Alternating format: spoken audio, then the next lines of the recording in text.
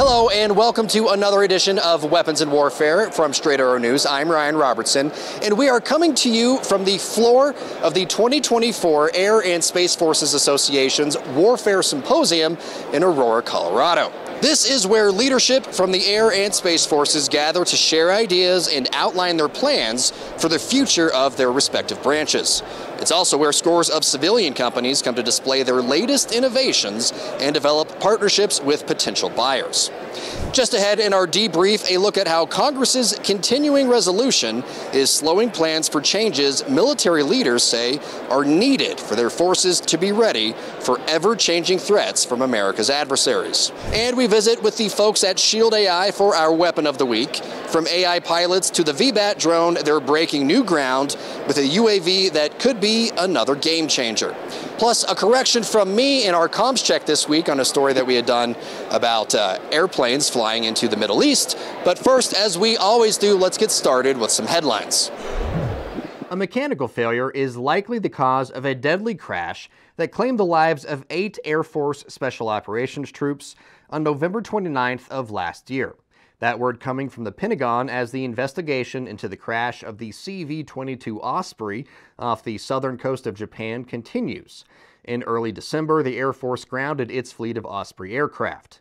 The commander of Air Force Special Operations told reporters at the symposium this year that he will not send airmen back up in the V 22 until he's sure every question has been answered. Nothing is more important to me than the safety of our air commandos. And when the time is right, when we make that decision to return to fly, it will be with me having the full confidence, not only in our training, but our crews, as well as the platform and any mitigation measures that we have in place to ensure that we can react appropriately if another situation develops. The November crash is the fourth for the Osprey program since March of 2022. When it comes to Russia and its ability to conduct war, it's worse than we thought. That, according to a report from Bloomberg, is the sentiment among NATO leadership. Be it artillery shells or soldiers on the ground, Russia is replenishing its war efforts at a rate many in NATO did not think was possible. Just last month, NATO Secretary General Jens Stoltenberg said the war in Ukraine is now a battle for ammunition. President Biden and the Senate recently pushed forward an aid package worth more than $90 billion, the bulk of which went to Ukraine and Israel. The bill died in the House, though, as Speaker Mike Johnson said he needs to see legislation to address the U.S. southern border first. And as the Houthi missile attacks on ships in the Red Sea continue, so do America's efforts to mitigate those attacks.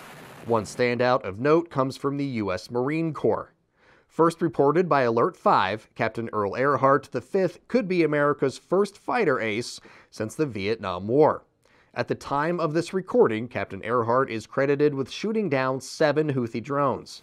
The Harrier pilot is flying off the amphibious assault ship USS Bataan. And his jet was reconfigured for these very specific air defense missions. The captain told the BBC that means his Harrier was in beast mode, carrying all the missiles it could fit under its wings. Good hunting, Captain. If this year's gathering had a one word description, it would be change. If it had a three word description, it would be change on hold. In the symposium's opening event, leaders from the Air and Space Forces laid out their plans for preparing their troops for constantly evolving threats from several corners of the world. Unfortunately, in their view, there's one major obstacle preventing the change from happening Congress. Ladies and gentlemen, we are out of time. We are out of time. We are out of time.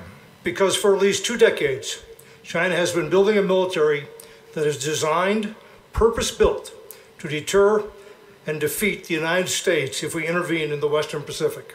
From the very start of this year's AFA Warfare Symposium, Air Force Secretary Frank Kendall made it clear the U.S. cannot afford to put off military modernization any longer. The United States does not seek a conflict. We have every hope that one can be avoided. We are, however, involved in a competition, an enduring competition that could turn into a conflict at any time. We can no longer regard conflict as a distant possibility or a future problem that we might have to confront. The risk of conflict is here now and that risk will increase with time. When Secretary Kendall came into office in 2021, he hit the ground running, outlining what he called operational imperatives factors that would shape how the Air and Space Forces would invest the money from Congress to make sure both branches are ready for a great power competition with China. That work had a major impact on the FY24 budget that was submitted a year ago. We're still, by the way, waiting for the Congress to appropriate the FY24 funds that we need now to modernize the Air and Space Forces and to defend the nation. Congress, if you're listening, an FY24 appropriation would be very welcome. And once again, please do not subject us to a disastrous year-long CR and sequestration. On a personal note, it would be very disappointing to me to have been in office for an entire administration and have never received any of the needed resources to be competitive. Resources that we identified in the first six months I was in office. Under a continuing resolution, service branches are forced to operate at the same spending levels as the previous fiscal year. It also means virtually no new spending, so no new projects can start, no new trainings can begin, no much needed modernization efforts. With any sort of continuing resolution, it's that uncertainty of funding as it goes forward. In some cases, with new starts, we fundamentally can't even start the work we need to do. And so without that monetary aspect in place, we're, we're, we're, sitting on our hands and we're not moving forward. Even with continuing resolution, the second aspect though is, is the are we going to overspend what we expect to get? So people tend to become more conservative, thereby pulling their punches a little bit in the execution of those resources. And both of those get solved with a um, with Congress's guidance in the form of a budget.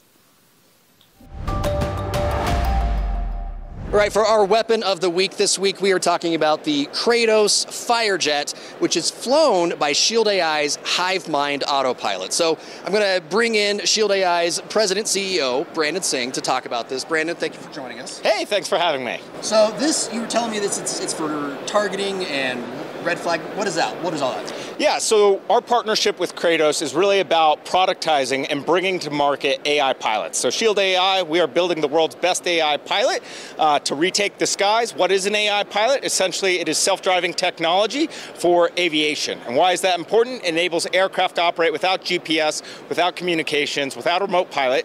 Uh, it enables the concept of swarming or teaming. Um, and then just like self-driving cars can learn to drive different missions, park, you know, do on-ramp to off-ramp, do freeway driving, suburban driving. You can train aircraft to do different missions as well. We trained quadcopters to clear buildings. Uh, we trained an F-16 to dogfight. Uh, we are working on suppression of enemy air defense missions, maritime domain awareness missions. And so really you can train these aircraft to learn and operate just any mission that you, you can define that any human pilot flies today. You bet, you bet. So what you're saying is HiveMind is not limited to one type of craft. It can teach it to fly any craft. Yes, you can teach it to fly any craft. And so the MQM-178 Firejet, and Kratos has been a terrific partner with us, um, it actually represents the sixth class of aircraft that we have flown. So we've flown three different, HiveMind has flown three quadcopters, it's flown our VBAT, it's flown the F-16, and the MQM-178 is the sixth aircraft, and later this year when we fly the Valkyrie, that'll be the seventh aircraft. And so uh, Shield AI, essentially what we're doing is taking our AI pilot and integrating it on lots and lots of different aircraft. So you can imagine a world where there are hundreds of thousands of aircraft, up to a million aircraft flying. We don't have enough pilots. What's flying those? AI pilots. HiveMind will be flying those. How did you come up with the name HiveMind? Uh, yeah, great question. Actually, it's uh, it's you know a, uh, a science fiction um, reference. Uh, a lot of people don't know, but you know I, I, I used to play uh, StarCraft when I was a kid, and Hive Mind is like you know I think it's one of the the characters in the game of StarCraft, which is a real time you know science fiction type strategy game, and so I got a little inspiration there. You bet. You bet. Brandon, that was great. Thank you so much yeah. for joining us today. Folks, you're definitely going to want to keep an eye on HiveMind because where this thing is going, I mean, sky's the limit, space is the limit. What do you think? Uh, I'll, I'll just say it's it's going everywhere. I, I, you know when I started the company in 2015, asked myself what uh, you know, what's the military look like of 2035? Decided AI and autonomy should be commanding, maneuvering, piloting all of our different assets. And so we think about HiveMind being that key enabler uh, for the U.S. military and to enable the concept of intelligent, affordable mass. Sounds great. Thank you, Brandon. Thanks. All right, folks, it's time for Comms Check this week. I don't have my fancy touchscreen behind me, but that's okay. We're going to get through this. It's going to be a quick one. Uh, so, we had done a story about the silver lining to some of the Houthi Red Sea attacks. Essentially, that U.S. and UK uh, Navy personnel were getting a chance to defend the ships and get some real world experience. Uh, Beardy McBeardface said it was a great piece, thanked, uh, thanked us for finally having some facts and nothing else in the story. So you're welcome, Beardy McBeardface. But Paul Wood said the Navy doesn't have any F 15 carrier squadrons. Because in the story, I said that the Eisenhower was launching F 35s and F 15s. Well, you know what, Paul?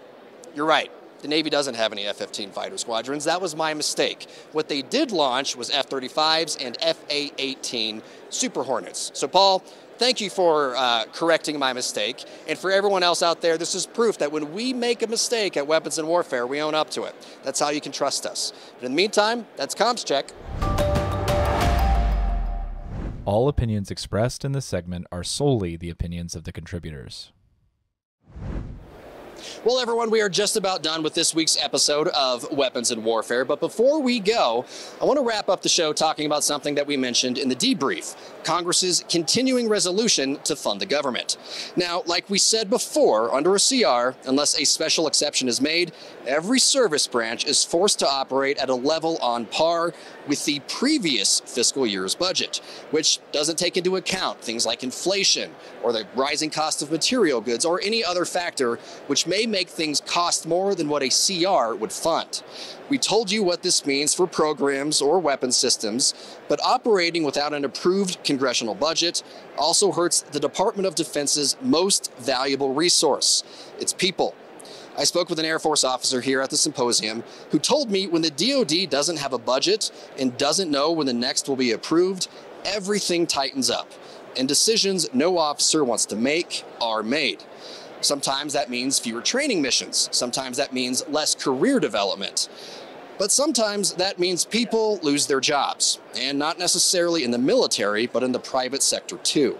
Under a CR, since no new programs can start, some contracts go unfulfilled, which means there's no money to pay the workers who are supposed to be doing the work. And of course, there's a psychological toll as well. Put yourself in the shoes of a service member. You volunteer to sign up. You're told you'll play an integral role in defending the nation and preserving freedom.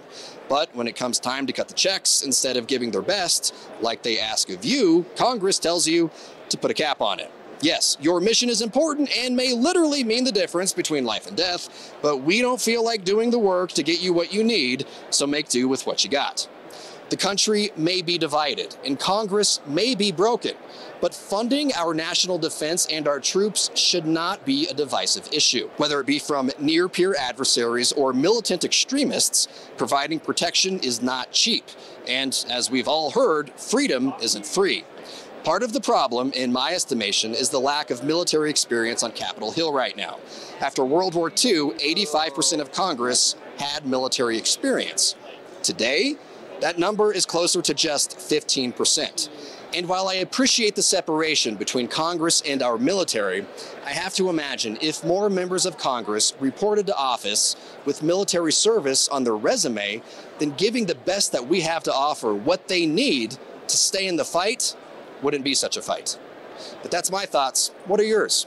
Let us know by commenting on our social media feeds or sending us an email to weaponsandwarfare at san.com. For senior producer Brett Baker, for video editor Brian Spencer, and for graphic designer Dakota Patillo, I'm Ryan Robertson with Straight Arrow News, signing off.